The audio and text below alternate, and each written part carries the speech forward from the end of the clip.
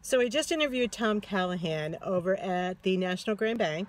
He is 99 years old and they celebrated his birthday today while at work. They were nice enough to give him a cake, give him a little coffee break. So in talking to Tom, he was telling me lots of great stories and he said that he was married for 70 years and when he goes home at night, he looks at his memory book which is consists just of pictures of his wife and he said that she followed him all over the country while he was in the service. He served about four years in the Air Force. And when they were in Oregon, they he was transferred, he was headed home, and they decided to drive home. And a friend of his asked him, said, Are you driving home? And he said, Yeah, yeah, we're going to drive home. Why wouldn't we? We're going to drive across the country. Why wouldn't we? And they said, Because there are no signs. And he said, there's no signs. And, and the guy said, no. He said they took him down because of the Japanese. Apparently they didn't want the Japanese to have directions if they landed in the United States.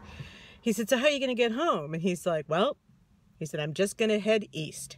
He's like, I figure if the sun's coming up in front of me, if as long as the sun's in front of me, he said, we're doing okay. He said, and you know what? He goes, once I hit the Mississippi River, I knew exactly where I was going. And we got home just fine. Took us six days to drive across the country.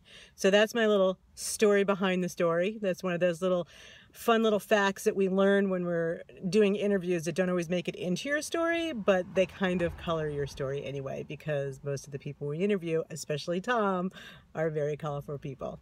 See ya.